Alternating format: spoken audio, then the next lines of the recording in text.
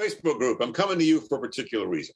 A lot of you know Dr. Mark Windham. He's the one who's always answering our silly questions on rose rosette disease and crown gall and everything else. He's generous of his time.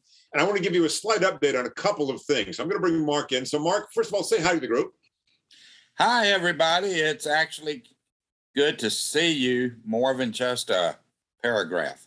Yeah, and I'm sure they're going to love having a face with a name as well. So I know in the Rose Rosette uh, research that you and, and, Dr. David Byrne and Dr. Kevin Ong are involved with. You had a couple of kind of neat breakthroughs. Just give us a couple quick lines of what those are, because no folks are going to be excited to hear about that.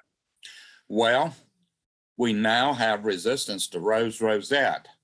We have 21 rose lines, some of them Rosa species, some of them cultivars, some of them rugoses, some of them breeding lines that are highly resistant to rose rosette, and that's been proven in multiple locations.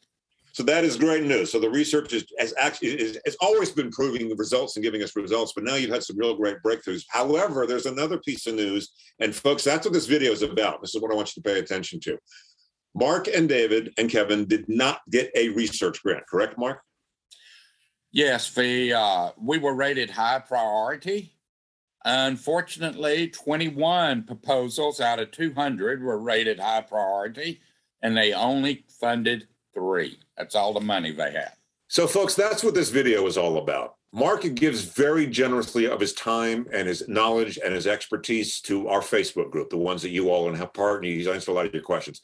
He needs your help. So, this is our chance to say thank you and return the favor go to the GoFundMe page that we set up for this. The link is on the screen. Donate something $5, $10, whatever the case may be. There's over 12,000 of us on this group. If we all chipped in a little bit, we could get this done. And This is our way to say thank you to Mark. So, Mark, you know, I know the folks love what you do, and I'm going to let you have the last word. The reason we need the money is that we want to get the roses you want resistant to rose rosette.